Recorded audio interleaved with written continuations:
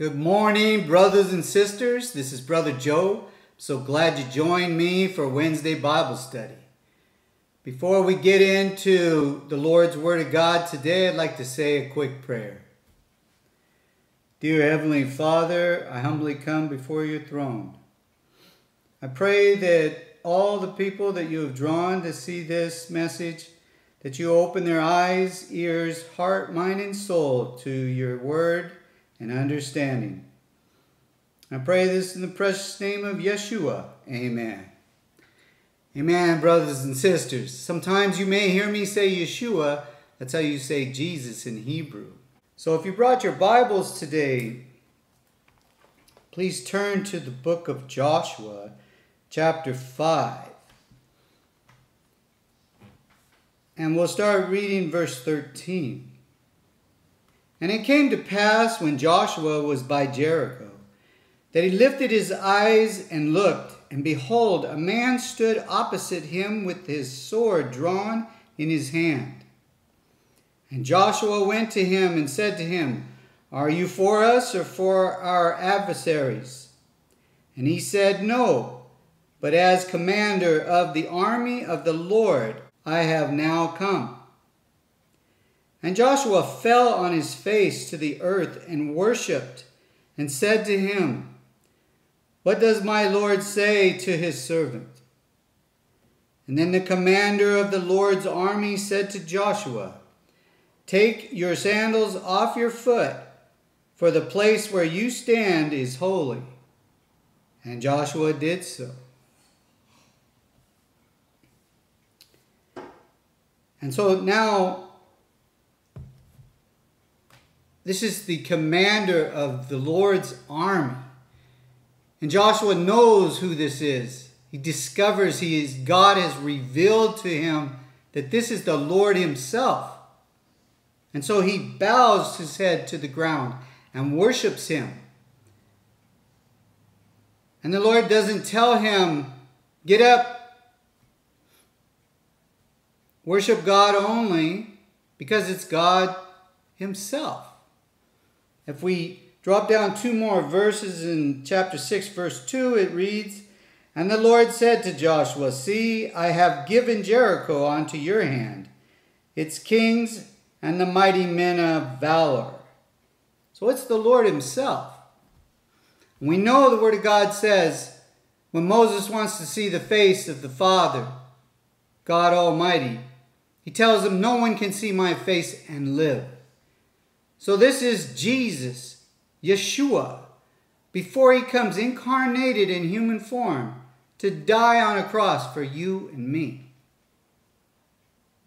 Remember, the Word was made flesh, and the Word dwelled among us. And the Word was here from the beginning, and everything was created through Him, for Him, and by Him. Amen? Amen. So that's a powerful passage to see our Lord Jesus come as the commander of the Lord's army. Amen? Amen. So now, turn with me to the book of John, chapter 21. We'll start reading in verse 15. So when they had eaten breakfast, Jesus said to Simon Peter, Simon, son of Jonah, do you love me more than these? And he said to him, Yes, Lord, you know that I love you. And he said to him, Feed my lambs. And he said to him again a second time, Simon, son of Jonah, do you love me? And he said to him, Yes, Lord, you know that I love you. And he said to him, Tend to my sheep. And he said to him a third time, Simon, son of Jonah, do you love me? And Peter was grieved because he said to him a third time, Do you love me? And he said to him, Lord, you know all things. You know that I love you. And Jesus said to him, Feed my sheep. Most assuredly I say to you, when you were younger, you girded yourself and walked where you wished. But when you are old, you will stretch out your hands. Another will gird you and carry you where you do not wish.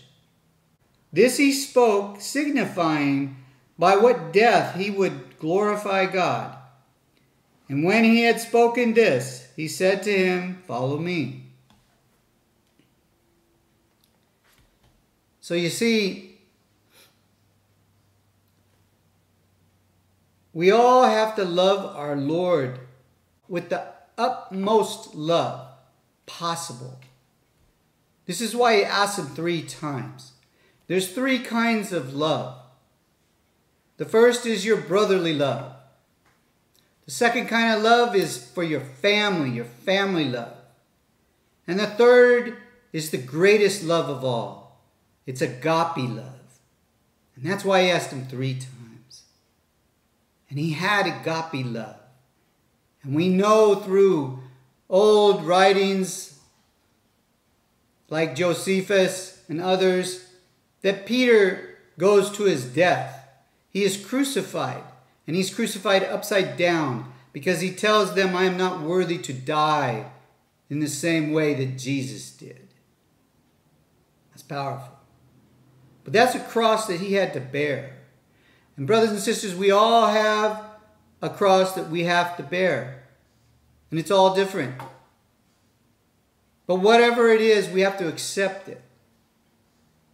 We have to love our Lord and Savior with agape love. Now, brothers and sisters, turn with me to the book of Matthew, chapter 10. And we'll read verse 37 and 38. He who loves father or mother more than me is not worthy of me, and he who loves son or daughter more than me is not worthy of me. And he who does not take up his cross and follow after me is not worthy of me. So you see, brothers and sisters, to have agape love is to love your Lord your God with all your heart, soul, mind, and strength. And to love him more than your, your human father, your mother, your daughter, your son. You must love the Lord your God with all your heart, with agape love. And then take up the cross and follow him. And never put the cross down. Keep following that upward call, having your mind as the mind of Jesus, and that is to please God and do His will. And if you're not doing God's will, you're not pleasing God. So have your mind on the Lord and please Him and do His will. Amen? Amen. So, one last verse.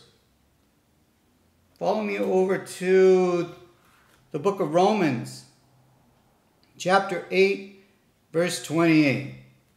And we know that all things work together for good to those who love God. Amen? Amen. So, brothers and sisters, ask the Lord every morning for more love in your heart, more love for your Lord and Savior, Jesus, agape love. Amen. Amen.